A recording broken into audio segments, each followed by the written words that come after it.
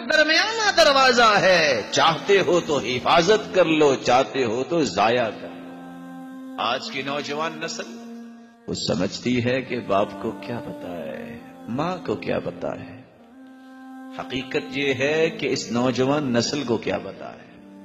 اسلام نے تو تعلیمات دی ہیں، اکرام کی، احترام کی، محبت، اخلاق، نرمی کی۔ اسلام نے تو یہ تعلیمات نہیں دی۔ کہ باپ پوچھے ہاں بھائی، کہاں ہو؟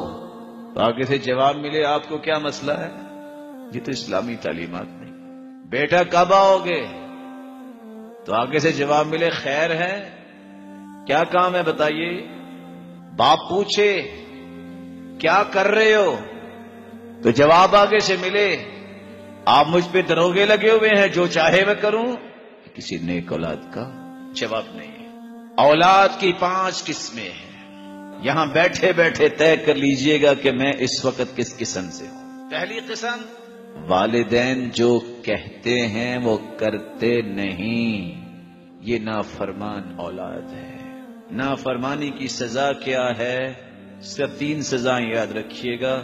پہلی سزا پوری زندگی سجدے میں پڑے رہیں نہ ان کے فرائض قبول نہ نوافل قبول۔ دوسری سزا اللہ کی نظر رحمت سے محروم، اللہ ان کو پاک بھی نہیں کرے گا۔ تیسری سزا سلاست قد حرم اللہ علیہم الجنہ۔ تین ایسے بدبخت ہیں جن پہ جنت حرام ہے اگر توبہ نہیں کرتے۔ والعاق، ان میں ایک نافرمان بیٹا ہے۔ اولاد کی دوسری قسم، بات مانتے تو ہیں جیسے والدین کہتے ہیں، لیکن دل کی خوشی سے نہیں۔ مجبوری کیا ہے؟ مار پڑے گی۔ گھر سے نہ نکال دیں۔ جارون یہ کام کریں بھی تو اجر نہیں ملے گا۔ علیہم ڈر ہے کہ اجر سے محروم ہے اولاد کی تیسری قسم۔ کام تو کرتے ہیں، ساتھ دکھ بھی دیتے ہیں۔ بات مانی اور ساتھ احسان جتلایا۔ تکلیف دی، کیا کہا؟ میں نے آپ کی وہ بات نہیں مانی تھی۔ میں نے آپ کا یہ کام نہیں کیا تھا۔ اس وقت بھی میں آپ پہ یہ خرچ نہیں کیا تھا۔ ضرور یہ لوگ کام کرنے کے باوجود نیکی نہیں گنا لیتے۔ اولاد کی چوتھی قسم۔